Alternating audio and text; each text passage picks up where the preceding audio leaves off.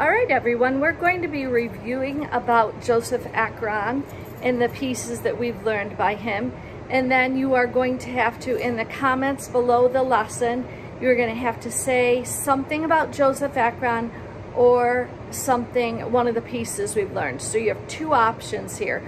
You can either say something about Joseph Achron or you can say one of the pieces that we've done by Joseph Achron. And I'm even going to review them right now for you to help you.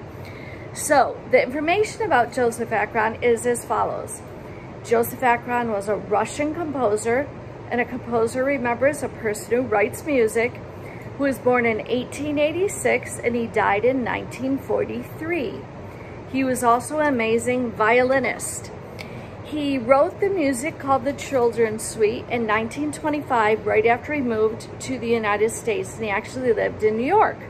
And the pieces that we've learned by Joseph Achron are Jumping with Your Tongue Out, The Little Horse is Tired, The Top, March of the Toys, Sleep My Puppy, and Birdies, all right? Those are the pieces. I'm gonna stop now you're going to write in the comments below, you're going to write either something about Joseph Achron or something about, um, or one of the pieces that we've already listened to. Something about Joseph Achron or the name of one of the pieces that we've uh, listened to by Joseph Achron. Please do that and then come back for the next part of the lesson.